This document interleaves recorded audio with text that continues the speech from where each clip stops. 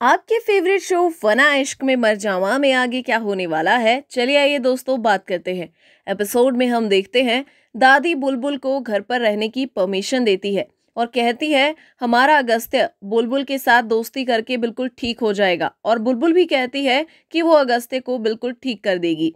आगे अगस्त्य समझ जाता है और वो मीरा के सामने कहता है कि वो झूठ कह रहा था और उसकी कोई भी दोस्त नहीं है। बुलबुल कहती है, बुलबुल इस पिंजरे में कैद नहीं रहने वाली। अब देखना कैसे हीरोइन की तरह मैं इस घर में एंट्री मारूँगी।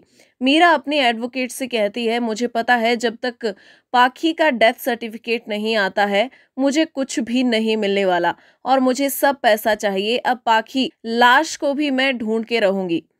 यहाँ पर आगे बुलबुल जानबूझकर मीरा के कार के नीचे आ जाती है और एक्सीडेंट होने का नाटक करती है। बुलबुल पुलिस को बुलाने की धमकी देती है, पर युग फिर उसे अपने घर ले जाता है। बुलबुल, चाल चलती है और कहती है, मुझे दस लाख दे दो, नहीं तो मेरा इलाज ठीक से करवा दो।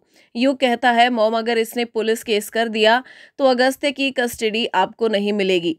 बुलबुल कहती है मुझे इस घर में नौकरी दे दो, नहीं तो मैं पुलिस को फ़ोन कर दूँगी। बुलबुल अपना आधा मुँह दिखाती है और मीरा युग देखकर शॉक रह जाते हैं, क्योंकि बुलबुल का आधा चेहरा जला होता है और यहीं पर एपिसोड खत्म हो जाता है। तो दोस्तों, ऐसी ही लेटेस्ट अपडेट्स के लिए बने रहिए हमारे साथ।